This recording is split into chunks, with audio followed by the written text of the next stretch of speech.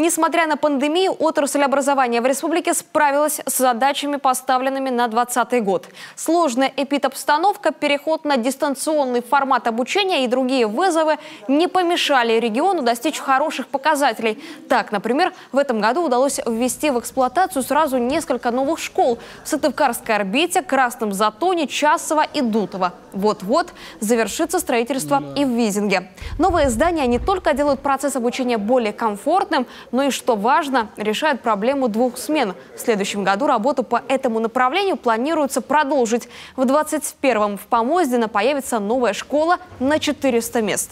Здесь задача остается неизменной – это обеспечение доступности и качества образования. Также планируется открытие детских садов двух и э, школ которые тоже сегодня ждут уже в 2021 году своего такого знаменательного события. Поэтому те задачи, которые отрасль ставила, они выполняются. Это придает некий импульс и, э, наконец-то, часть многолетних проблем, она начинает сниматься. Продолжится работа и по открытию новых точек роста. В ближайшие три года образовательные центры естественно-научного, гуманитарного и цифрового профиля появятся в 60 сельских школах. Материально-техническая база в образовательных учреждениях должна идти в ногу со временем.